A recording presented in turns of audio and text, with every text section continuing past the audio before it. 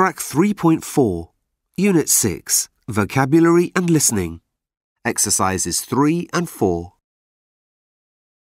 Good afternoon and welcome to Art Spectrum. Today I'm at the Warehouse Art Gallery for the opening of a new photography exhibition. I'm talking to one of the organisers, Tamsin West, who's going to tell us more about the photographers and their work. So, Tamsin, what kind of photos are included in the exhibition?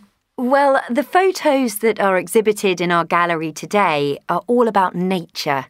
We've got amusing pictures of animals, beautiful images of rare plants and colourful landscapes. Some of the photos are more traditional, others are provocative and controversial. Were all the photos taken by professional photographers? Yes, they were taken by professional photographers from more than 50 different countries. The photo right behind you, for example, was taken in Malta, but the photographer is from Germany. The picture that shows a sunset over the sea? Yes, the sunrise sunset photo. That's a strange title.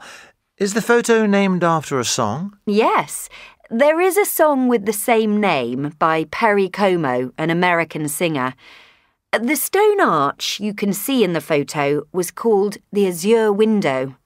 Unfortunately, it was destroyed by a storm in 2017. What about the photo of a dandelion over there?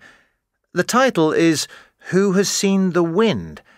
This sounds like a line from a poem. That's because it is from a poem. Who Has Seen the Wind was written by the famous English poet Christina Rossetti in the 19th century. Oh, I see. This one has got an interesting title too Game Over. It shows a dead honeybee in a spider's web.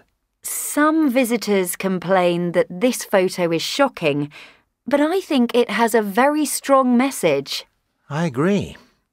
Tamsin, we only have time for one more photo. OK, then I'm going to show you my favourite image. It's called Underwater Forest. This is beautiful indeed. It looks like the trees are growing in the water.